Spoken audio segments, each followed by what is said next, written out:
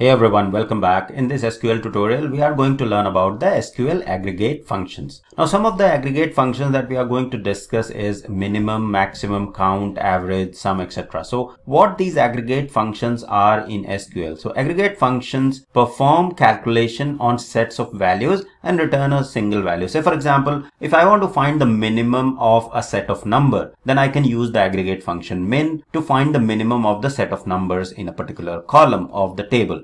If I want to find the maximum, I can use max. If I want to count how many rows are there in a table, I can use count. If I want to find the count of non-null values in a column, I can use count as well.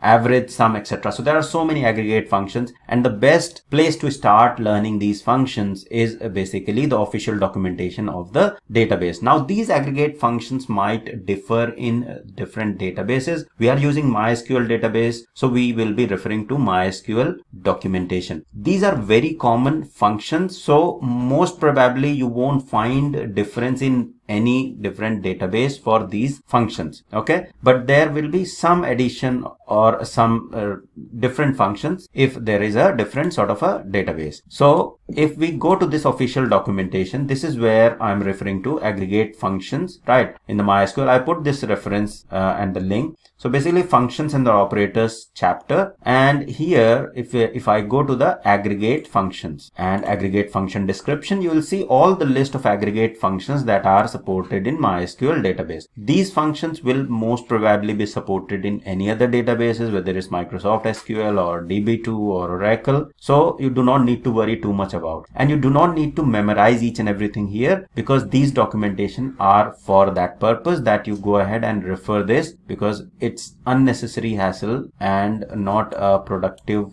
thing to memorize everything here, right? So say for example, I want to find the maximum value. I'll use the max function. I want to find the minimum value. I will uh, use the minimum. I want to return the sum. I'll use sum and then these are some of the common one that I'm going to discuss. And I want to count the number of rows. I can use count. If I want to count the distinct number of values I'll use count distinct right and then if I want to find the average I'll use the average. And you can go click on each of these descriptions or the links to get the details of these functions. And it will give you an example how you are going to use it. Okay? So let's quickly go ahead into the mysql workbench. And i'll create a table quickly and then insert some of the data so that we can work on it. Okay? So i am using this rcv online database. So simply use rcv online database and then create a table there okay so table got created and if i now select star from this table, you will see the table has been created, but it is empty at the moment. Let me insert some of the data there and I have inserted this data. Okay. And if I run this query again, you will see the data has been inserted into the table. Okay.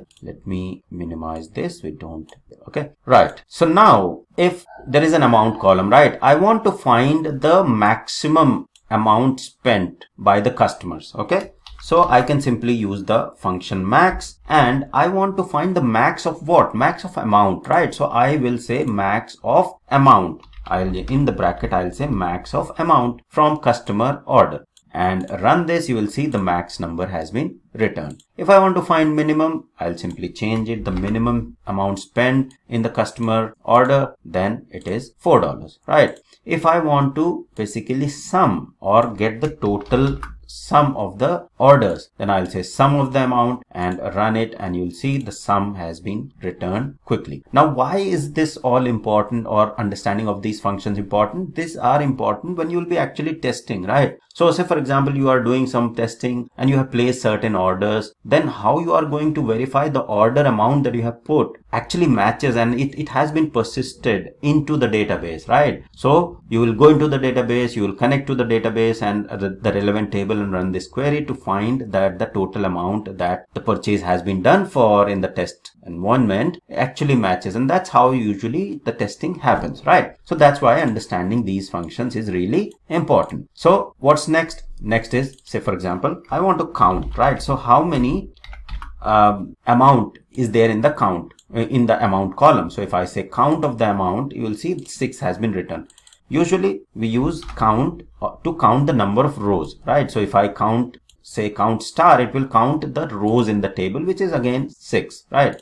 Now, why is this important to use count. So if I say select star from customer order, it still returns me the number of rows, right? So it will return me the number of rows and in the result it will say six rows first, right? But this is very um, sort of if if I just want to find the number of rows in the customer order I do not need to fetch all the data from the table okay? Because it's resource intensive and the best way is to just use the count function and it will count the number of rows instead of returning and fetching everything and displaying on the screen right? Now what count will do is you need to also understand about the count that it will not count the non-null values. Okay? So if there is any null value okay it will count only non-null value. If there are null values it won't count that. Okay so say for example there is a value or there is a entry wherein the amount is not there then it won't count. Let me quickly insert some value there. Okay so i'll say let me copy this these two values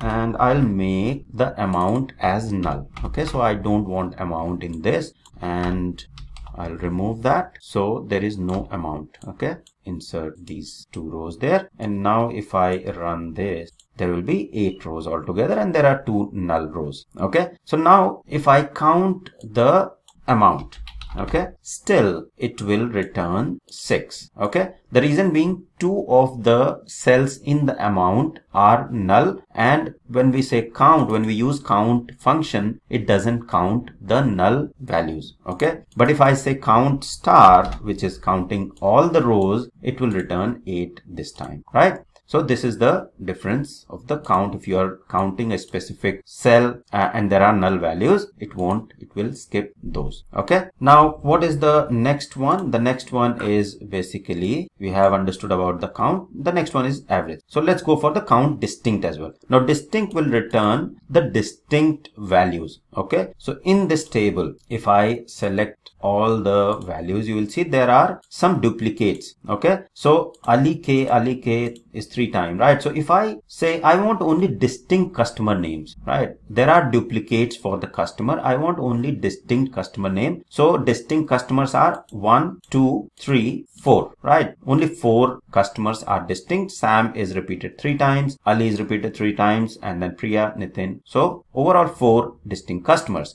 So if I want to find the distinct, so I can say count distinct, distinct and distinct of customer name, right? From customer order. So if I run this, you will see only four are being returned, right? So only four distinct customers are there. So this is how you will use count distinct. Okay. So if you'll see the format is count, select count distinct of whatever column and then from the table name. Okay. Now the next one is the average. If I want to find the average, I can simply use average so I can say select and then let me copy this and say average of say for example amount, right? So I'll say average and I want to see how much sales has been done. So I want to uh, what is the average sale? So average sale is basically 2767 okay? So this will return me the average. So these are some of the very commonly used aggregate functions but then there are many more. Average count count distinct um, group concat. So you can go through these details but these min max count average these are very frequently and commonly used. That's why i have shown you with example. But then if you are more if you want more details around these functions go ahead and explore those. But mostly whatever i have explained here is good enough for you to go ahead and start